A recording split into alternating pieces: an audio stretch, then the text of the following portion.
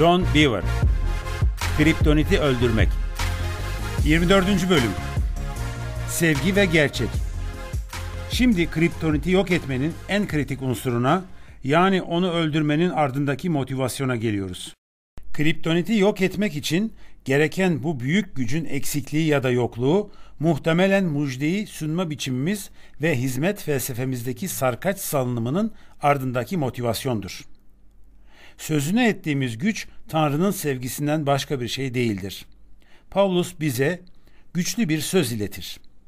Böylece artık insanların kurnazlığıyla, aldatıcı düzenler kurmaktaki becerileriyle, her öğretinin rüzgarıyla çalkalanıp öteye beriye sürüklenen çocuklar olmayacağız. Tersine sevgiyle gerçeğe uyarak bedenin başı olan Mesih'e doğru her yönden büyüyeceğiz. Efesler 4, 14-15 İsa'nın tiyatrada işaret ettiği ve Yahuda, Petrus, Yuhanna ve Pavlus'un mektuplarında tanımladığı türden sahte öğretiler, sinsi yapıları nedeniyle kolayca gerçeği taklit edebilirler. Düşman, düşündüğümüzden çok daha zekidir. Eğer Tanrı'nın varlığının doldurduğu kusursuz bir ortam içinde havayı baştan çıkarabildiyse, şimdiki yozlaşmış ortam içinde insanları aldatması daha ne kadar kolay olur.'' Ve bizi sahte öğretilerin aldatmacasından ne koruyabilir? Bunun yanıtı gerçeğe uymaktır. Ancak tek başına gerçeğe değil, sevgiyle gerçeğe uymaktır. Sevgiden kopmuş gerçek bizi yasanın öldürücü yoluna yönlendirir. Buna yasacılık denir. Bu yaklaşım eninde sonunda aldatmacayı güçlendirir ve destekler. Kilisenin sağlığı için hayati olan kutsal uyarılardan uzaklaşmanın ve hatta onları yok saymanın nedenidir. Yasacılık bizi hırpalar. Çünkü nahoş, zalim, nefret doludur. Onun gaddarlığına karşı koymak için sevgiyi vurgularız. Ancak gerçek olmadan ifade edilen sevgi asla sevgi değildir. Bir taklittir. Tanrısal sevgi kılığına girmiş bir tür şefkat, yakınlık, yumuşaklık ve sabırdır.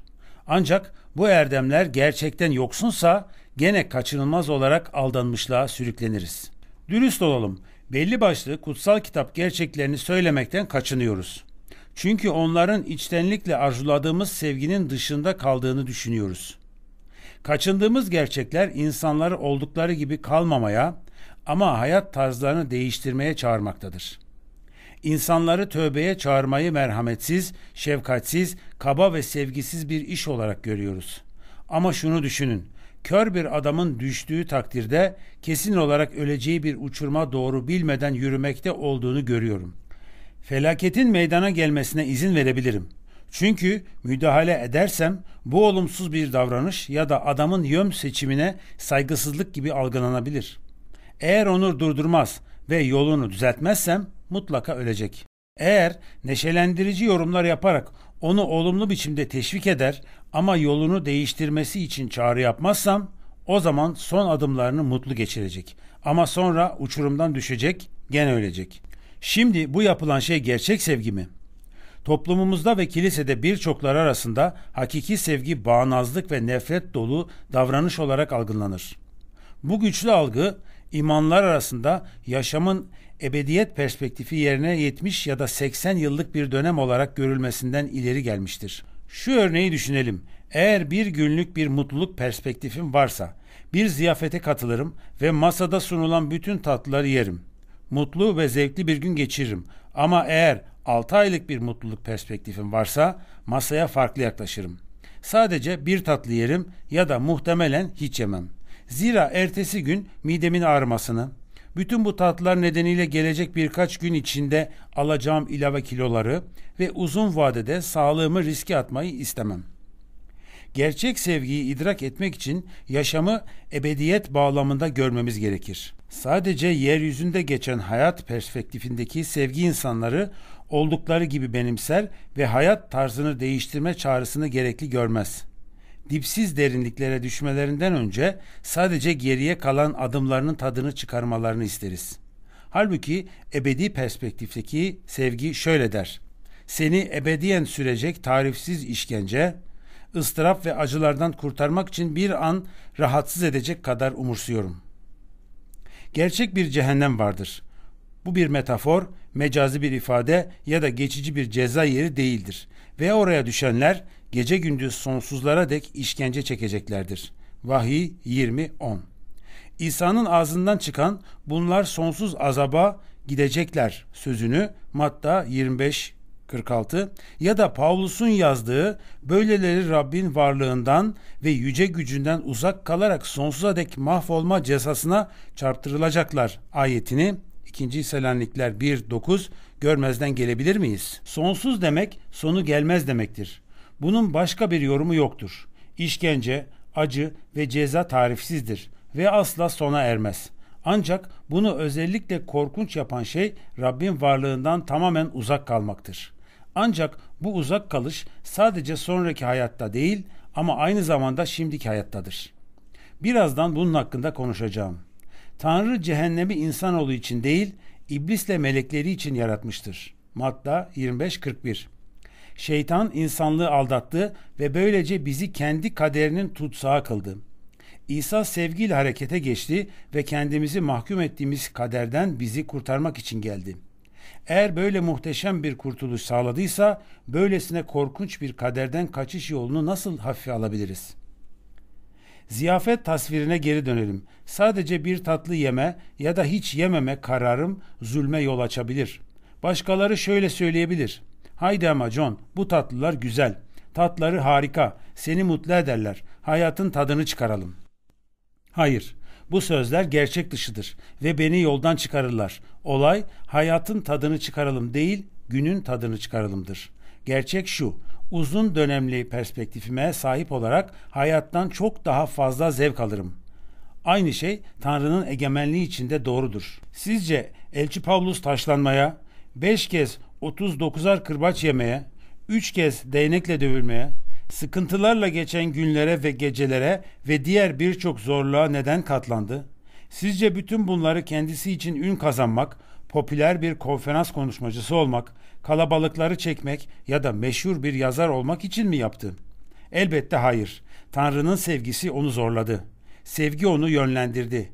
Ebedi perspektiften baktı ve korkusuzca sevdi. Popülerlik uğruna gerçekten ödün vermedi. Çünkü Mesih'e getirmek için görevlendirildiği insanları sevdi. Gerçek sevgi nedir? Tanrı sevgidir. 1. Yuhanna 4.8 Tanrı sadece sevgiye sahip değildir. O sevginin özüdür. O halde bu sevgiyi nasıl tanımlamalıyız? Geçenlerde dua ederken Rab yüreğime şöyle seslendi. Oğlum, halkım sevginin esas tanımına gitmek yerine kenarlarına odaklanıyor. Sonra sevgi sabırlıdır, sevgi şefkatlidir, sevgi övünmez, sevgi kaba davranmaz, sevgi kendi çıkarını aramaz gibi 1. Korintler mektubunda ve kutsal kitabın her yerinde bulunan diğer birçok tanım aklıma geldi. Sonra kutsal ruh bana şu benzetmeyi gösterdi. Eğer küçük bir çocuğa bir erkek ve kadın arasındaki ayrımı öğretiyor olsaydık bunu nasıl yapardık? Eğer sadece kadının iki bacağı, iki gözü, bir burnu, bir ağzı, iki kolu, iki eli ve iki ayağı var deseydik bu yeterince doğru bir tanım olur muydu? Ne var ki böyle genel bir tanım karşısında küçük çocuk bir erkeğe bakarak işte bir kadın diyebilir. Bu durum gerçekleşebilir. Çünkü bir erkeği kadından ayıran kesin tarifi vermediniz. Kadını erkekten farklı kılan şey budur demediniz. Dünyanın hoşuna giden bir sevgi vardır. O da sabırlıdır, şefkatlidir, kaba davranmaz ve Tanrı'nın sevgisine benzeyen başka birçok özelliği vardır. Ancak Tanrı'nın sevgisi dünyanınkinden nihai olarak ayıran tanım şu sözde saklıdır. Tanrı'yı sevmek, onun buyruklarını yerine getirmek demektir. 1. Yuhanna 5 3 Sevgi elçisi olarak tanınan Yuhanna, kaçırmış olabileceğimiz olasılığa karşı bu hayati tanımı ikinci mektubunda bir kez daha verir. Sevgi, Tanrı'nın buyruklarına uygun yaşamamız demektir. 2. Yuhanna 6 Bu tanım, Pavlus'un 1. Korintlilerde verdiği sevgi tanımından farklıdır. Yuhanna, sevginin betimsel unsurlarını vermez. Ama Tanrı'nın sevgisini diğer bütün türden ayıran öz tanımını verir. Sevgi Rabbin buyruklarına uymaktır. Rab bunu son akşam yemeğinde açıkça ifade eder. Kim buyruklarımı bilir ve yerine getirirse işte beni seven odur. Yuhanna 14 22 21. Böylece eğer şefkatliysem, sabırlıysam, naziksem, kıskanmıyorsam, övünmüyorsam, hırçın değilsem ama düzenli olarak karımı aldatıyorsam ya da vergi kaçırıyorsam o zaman Tanrı'nın sevgisinde yürümüyorum demektir. Eğer şefkatliysem, sabırlıysam, naziksem, kıskanmıyorsam, kaba davranmıyorsam, övünmüyorsam, hırçın değilsem ama günümüzde pek çok ülkede hükümetlerin bile giderek daha fazla onayladığı ve teşvik ettiği eşcinsellik gibi cinsel ahlaksızlıkları onaylıyorsam o zaman Tanrı'nın sevgisinde yürümüyorum demektir. Aslında aldanmış haldeyim ve kaba, kıskanç, övüngen ve hırçın bir adamdan daha tehlikeli bir konumdayım. Çünkü o muhtemelen Tanrı'dan uzak olduğunu biliyor. Bense alışa geldiğim günahlardan tövbe etmediğim halde birileriyle günahkarın duasını ettiğim için Tanrı ile barışık olduğum yanılgısına düşebilirim. Özetle İsa'nın buyruklarına kulak vermiyorum. Bu arada şu çok önemli noktayı hatırlatmama izin verin. Tanrı'nın buyruklarına kurtulmak için uymuyorum. Aksine kurtulduğum ve onun sevgisi içimde yaşadığı için Tanrı'nın buyruklarında yürüyorum.'' İtaat etmek yüreğimi ve hayatımı gerçekten ona teslim ettiğimin kanıtıdır. Bir kez daha Tanrı'nın sözü ve onun yollarıyla doğrudan çelişen herhangi türden bir sevgi anlayışı son bulmayan sevgi asla değildir. Geçicidir. İnsanların iyi hatta fedakar hissetmesine neden olur ve başkalarının takdirini ve beğenisini kazanır. Ama sonsuz değildir. Sonsuz yaşam sağlamaz ve bir gün uçurumun dibindeki ateş gölünün sonsuz derinliğine düşürür. Peki bu kadar doğru görünen bu sevgi neden geçicidir? Adem ve Havva iyi ile kötüyü bilme ağacının meyvesinin yemek için uygun ve bilgelik kazanmak için çekici olduğunu sandı. Kadın ağacın güzel, meyvesinin yemek için uygun ve bilgelik kazanmak için çekici olduğunu gördü. Yaratılış 3.6 Havva'nın ilk düşünceleri muhtemelen neden seven bir tanrı bizim için uygun bir meyveyi yememizi yasaklasın? Bu işte mantıklı değil çizgisine geldi. Tanrı'nın isteği dışında kalan uygunluğu ve bilgeliği benimsemeyi seçti. Nedeni bilmek istiyoruz. Ama dürüst olalım. Nedenlerini anlamasak dahi Tanrı'nın itaat etmemizi istediği bazı şeyler vardır bizim için iyi görünen bir şeyden uzak durmamızı söylediğinde bizi sevdiğine inanabilir miyiz? Onun karakterine güvenebilir miyiz? Yoksa Aden bahçesindeki atalarımızın yaptığından farksız olarak bizim için neyin iyi olduğuna karar veren yargıçlar mı oluyoruz? Tanrı'nın sırları ya da Tanrı'nın talimatlarının ardındaki nedenler hakkında verebilecek çok fazla örnekler var. Ama bir tanesini paylaşmama izin verin. Aradan neredeyse 40 yıl geçti ama Tanrı'nın bir peygambere orada hiçbir şey yiyip içme ve gittiğin yoldan dönme buyruğunu neden verdiğini söyleyebilen bir kişiye rastlamadım. 1. Krallar 13.9 Peygamber görünüşte mantıksız olan bu buyruğa uymadı. Ama sonunda itaatsizliği nedeniyle canından oldu. Dürüst olmak gerekirse gerçek sevgi bazen sevgi hissinin karşıtı gibi görünür. Paulus neden Korint kilisesine ben de canlarınız uğruna malımı da kendimi de seve seve harcayacağım. Sizi daha çok seversem daha az mı sevileceğim demektedir. 2. Korintler 12-15 Bu imanlılar topluluğunun Pavlus'u sevgisiz görmesi kulağa pek normal gelmez. Onu kendilerini yasalarla bağlamak isteyen, tabiri caizse dogmatik, yasacı bir önder olarak gördüklerine inanıyorum.'' Belki Paulus hakkındaki düşünceleri onu bağnaz görme seviyesindeydi ama gerçek hiç de böyle değildi. Onları dünyasal bir sevgi türüyle değil, ebedi sevgiyle sevdi. Onları gerçekle yüzleştirdi. Uyardı ve tövbeye çağırdı ki onu işitenlere sevgisiz görünmüş olabilir. Ama sözleri Tanrı'nın gerçek sevgisiyle doluydu. Sevgiyle gerçeğe uymak. Bütün bunları söyledikten sonra şimdi gerçek sevginin önemini ele alalım. Bunun için sevginin tanımını gözden geçirelim. Sevgi sabırlıdır. Sevgi şefkatlidir. Sevgi kıskanmaz.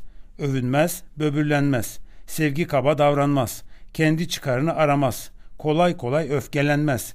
Kötülüğün hesabını tutmaz.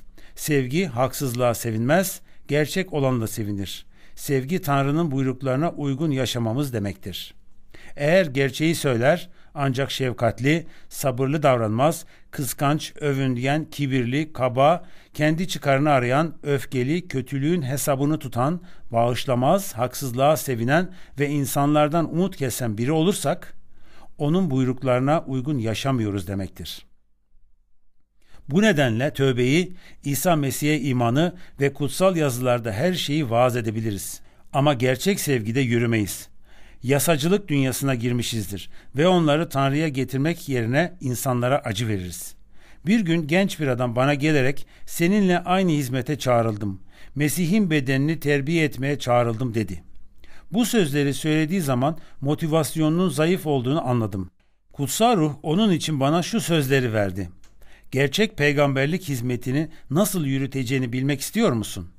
Yüzü aydınlandı ve hemen yanıtladı. Evet bilmeyi çok isterim.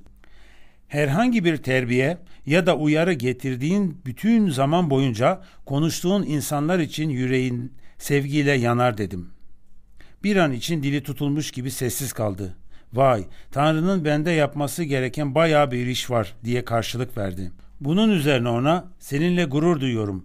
Bunu söylemek alçak gönüllülük getirir. O noktaya düşündüğünden yakınsın. Yüreğin yumuşak dedim. Sevgi kendinizden çok karşınızdakiyle ilgilenir. Bir kimsenin uçurumdan düşmesine izin vermeyecek kadar çok umursar. 1. Korintiler 13. bölümde tarif edilen bütün o beğenilir özellikleri dışarıya yayacaktır. Ama bunu yaparken kurtarıcımızın ve Tanrımızın buyruklarından asla sapmayacaktır. Sevgi o kadar hayati ve o kadar önemlidir ki yaşamın özüdür. Tanrı'nın yüreğinizi sevgisiyle, kendisiyle doldurması için dua edin ki başkalarıyla gerçek anlamda kendi hayatınızdan daha çok ilgilenebilesiniz. Kutsal Ruh'un yüreklerimize bu sevgiyi döktüğünü okuyoruz. Onun yaşam veren sevgisinin derinliğini, uzunluğunu ve yüksekliğini tanımayı isteyelim.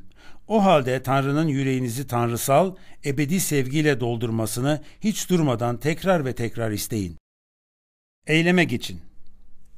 Kiliseyi işgal etmeye çalışan günaha karşı sesimizi yükseltmeliyiz. Ama bunu sevgiyle yapmalıyız.